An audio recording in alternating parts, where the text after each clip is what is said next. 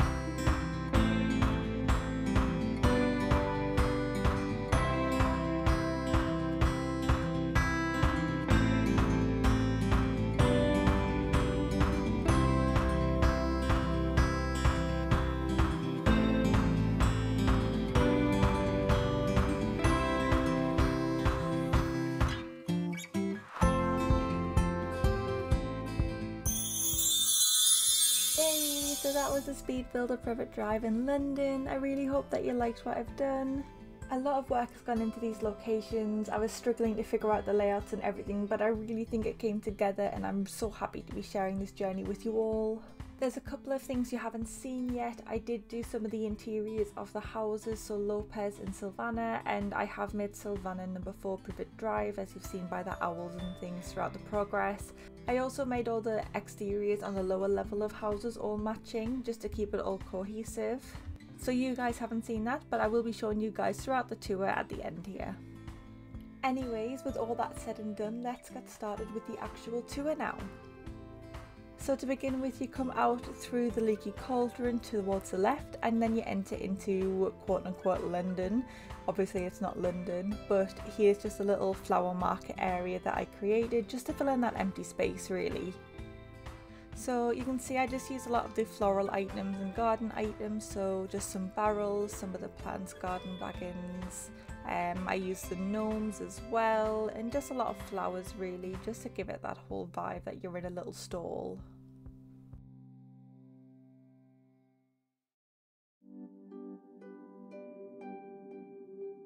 Moving on, we make our way down the street under the pergola and then onto the beach. This was a lot of going back and forth. Um, you can probably see from the initial start of the video in this area. I had a lot of the tables with the brollies on top, but I didn't like it, so I changed it to this and I got this cute custom design code for the floor put a lot of weeds around and just filled it with cushions and just like a seating area as though someone's having like a birthday party or something on the beach.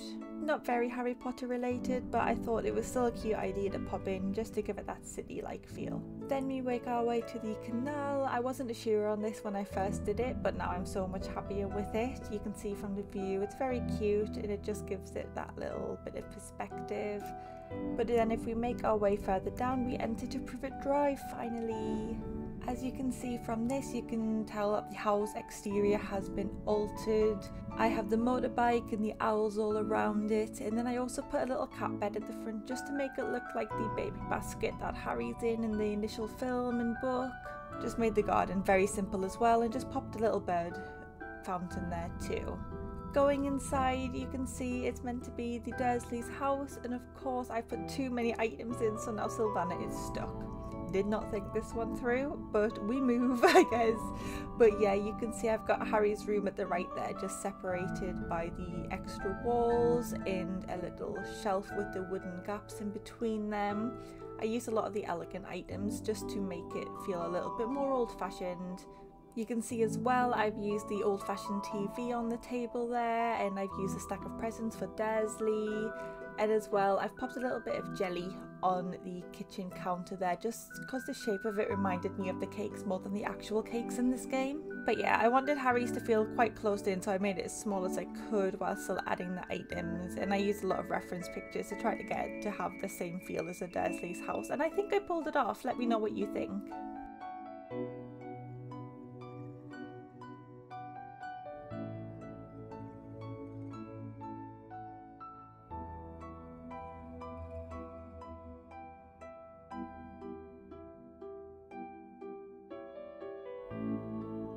Yeah, that was number four Privet Drive, just as Sylvana's house, and I just tried to match it up as close as I could. Moving further along, it's just a little bit more of Privet Drive really, just with the cohesive housing for Lopez and Deirdre that I have there, just some cars and things, just to make it feel like it's alive, you know, that there's actually people living there.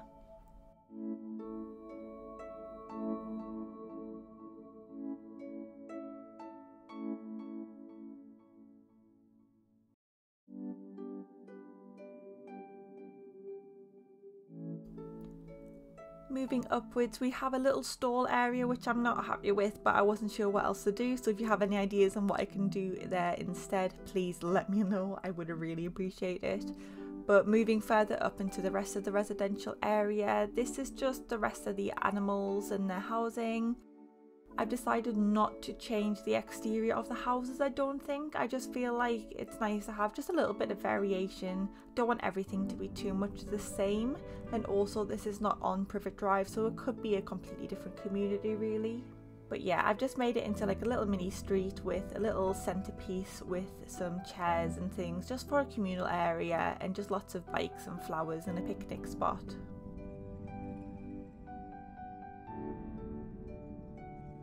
And then as we go further right, Poppy's house is up on the top there. And then I've just got a lot of flowers and waterfalls and terraforming just to give it a bit more of a natural feel.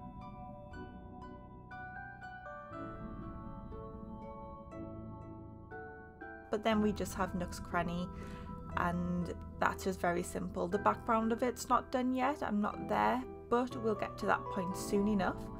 And then coming down the stairs, we just have the little car park, which I'm pretty sure you guys have seen before, just with a little tribute to the Weasley's car there, just as the blue one at the right. And but yeah, that's pretty much the final build for Privet Drive in London so far. I am going to be working on Hogwarts and the rest of the castle grounds and things like that later on. So if you have any ideas of what I could build on this island, please let me know. Any ideas would be appreciated.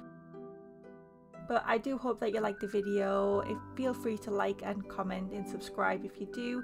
And I hope to see you in the next one. Bye!